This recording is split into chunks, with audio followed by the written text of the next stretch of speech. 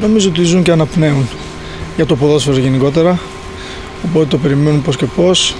Όλοι πλέον στην Αγγλία μ, αρχίζουν να ασχολούνται με την εθνική τους ομάδα, το πώς θα είναι η καλύτερη δυνατή σύνθεση για να αγωνιστούν.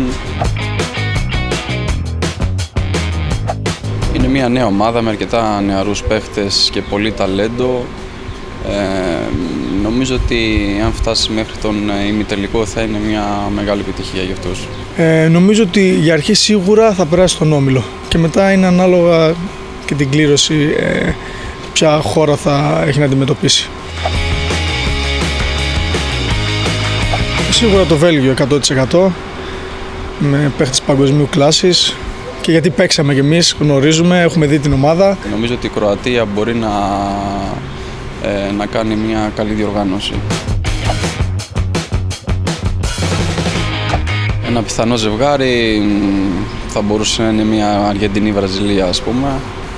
Ε, μ, όσο για το φαβορί, πάντα οι μεγάλες δυνάμεις έχουν τον πρώτο λόγο, όπως η Αργεντινή, όπως η Βραζιλία, μ, η Γερμανία. Νομίζω κλασικά είναι η Γερμανία, η Ισπανία και νομίζω και ότι αυτές οι δύο οι ομάδες πιστεύω κατά τη δική μου γνώμη θα είναι και στο τελικό.